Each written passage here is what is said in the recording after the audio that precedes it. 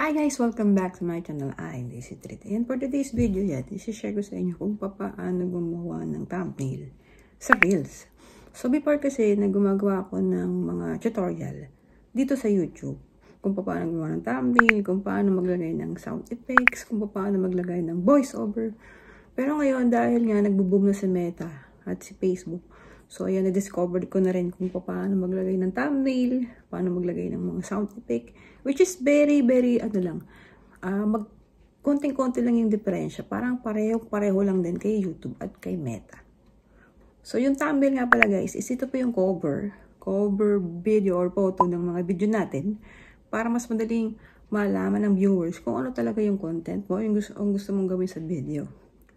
Actually kasi, pwede naman siya walang thumbnail. Pero kasi, uh, mas maganda, mas quality yung video mo kung meron siyang thumbnail. Mas madaling makikita at mahanap ng viewers kapag ang reels mo ay merong thumbnail. So, ito na. Papakita na natin. So, ito na agad guys. So, wala nang patupik-tumpik pa. So, nandito tayo sa aking Facebook.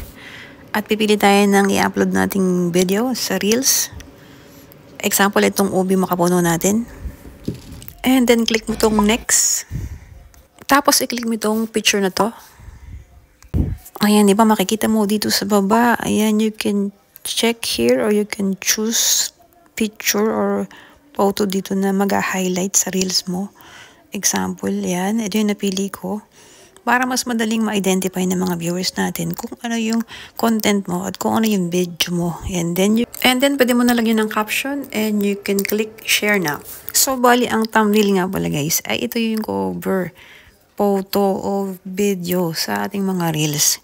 Dati kasi sa YouTube lang meron nito. Lang. So, yan. Good luck po sa gawa ng mga reels ninyo. I hope na pare-pareho tayo mamonetize sa Meta. Ayan. Dito, ito kasi sa YouTube monetize na ako. Kaya naman sa FB naman tayo mag-start gumawa at mag-share ng mga kaalaman natin, konting tips natin sa paggawa ng reels. Ayan.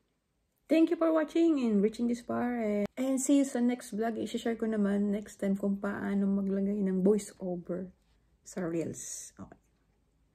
See you to the next vlog.